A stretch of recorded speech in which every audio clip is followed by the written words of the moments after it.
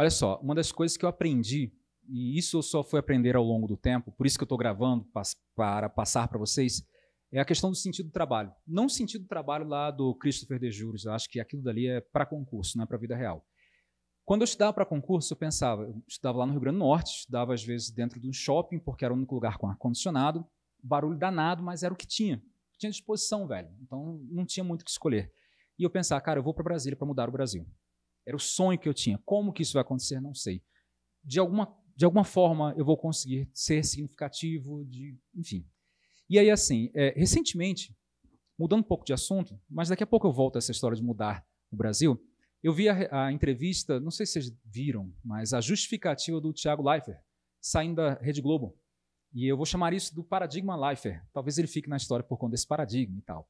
A ideia é, ele saiu porque ele estava num, num, ritmo de sucesso muito bom, muito alto, e as coisas estavam acontecendo muito bem para eles, tipo terminar o Big Brother e tal. E no dia ele não tinha tempo para comemorar, para respirar, para descansar e principalmente para se dedicar a projetos de desenvolvimento pessoal ou profissional, como ele gostaria.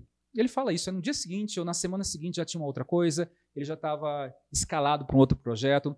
E dar aula para concurso é assim. Baita sucesso que nós tivemos no TJ Rio de Janeiro agora. Estamos comemoramos sim, a gente comemora hoje em dia. Antigamente a gente não divulgava tanto isso, hoje em dia a gente divulga e faz questão de mostrar. Aqui quem manda é o Psicologia Nova. E aí, dia seguinte, a gente já está pensando no TJ São Paulo e depois TJ Minas Gerais, TJ Piauí, TJ DFT, sabe? É, é um contínuo. INSS, que talvez abra. E eu meio que me identifiquei, eu pensei, cara, será que é isso mesmo? Será que a, esse é o sentido do trabalho. Você tem uma série de vitórias, mas você não para para comemorar. Tem alguma coisa errada, vamos comemorar e tal. Mudamos então algumas rotinas dentro da empresa com relação a isso. Só que eu pensei, ao mesmo tempo que nós temos esse, esse digamos, paradigma de felicidade, tipo, a felicidade não dura para sempre. Você, quando passa num concurso, você não vai ter essa felicidade para o resto da vida. É durante um momento. Então, nas semanas seguintes, você está lá comemorando, daqui a pouco você normaliza. Ou passa no outro concurso, normaliza. Ou ganha um prêmio, ou consegue colar aí a sua. Terminar o mestrado, depois se normaliza. A mesma lição serve para os momentos de tristeza.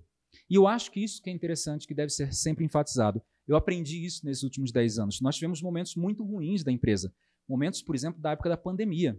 A gente praticamente não vendeu nada. Nada, nada, nada durante a pandemia. E os professores continuaram conosco, continuaram gravando, corrigindo provas. Vocês lembram da quarentena 1, quarentena 2?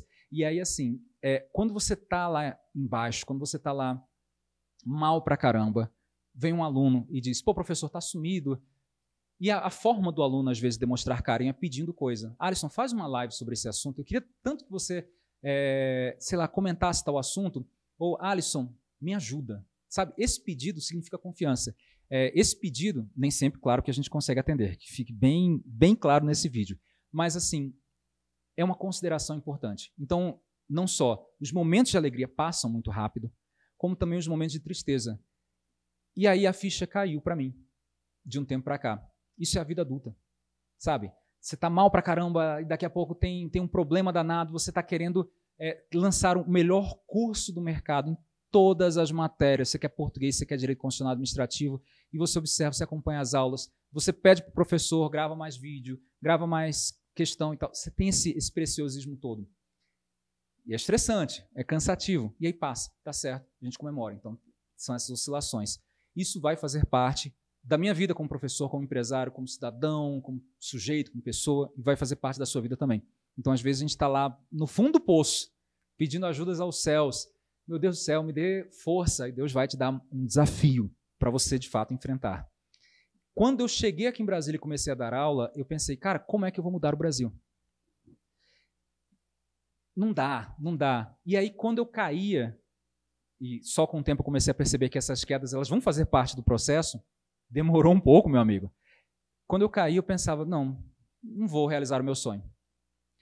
Hoje em dia, quando eu vejo lives, eventos, livros, publicações de alunos que eu ajudei a colocar dentro do serviço público, eu percebo que eu ajudei a mudar a realidade da psicologia no Brasil. Então, eu sempre falo, é o melhor curso para os futuros psicólogos aprovados. É, é o melhor curso para os futuros psicólogos servidores públicos. Então, eu vejo a galera com uma cabeça muito mais limpa, pensando em depoimentos sem dano, criando grupo de trabalho, e compartilhando depois comigo, Alisson, dá uma olhadinha aqui, pô, seria, às vezes me convido para os eventos, será que você não pode participar disso, daquilo, daquilo outro?